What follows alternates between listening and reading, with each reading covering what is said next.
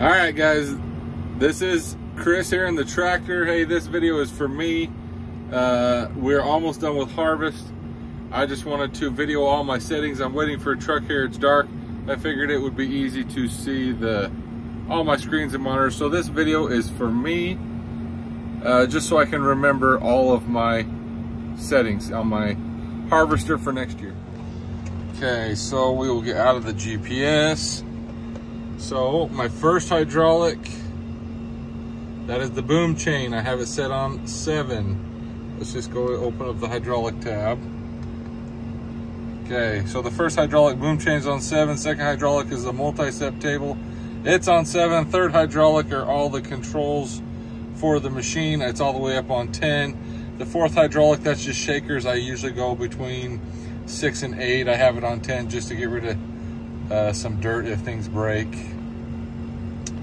Um, I don't know that there's anything else on there that I need to know for next year.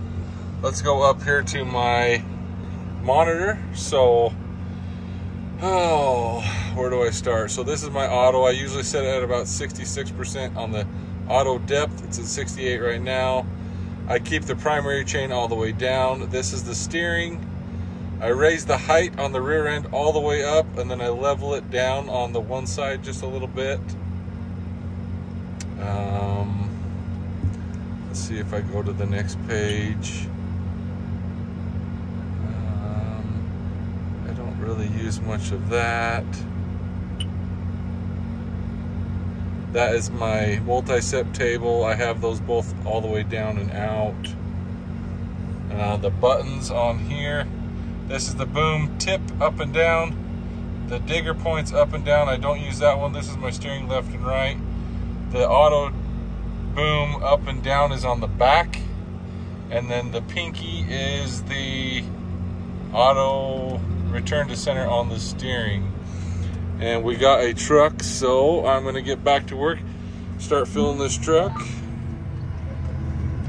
and keep digging. We're almost done with this field. I think we're just gonna try and finish this field for tonight. And here we go.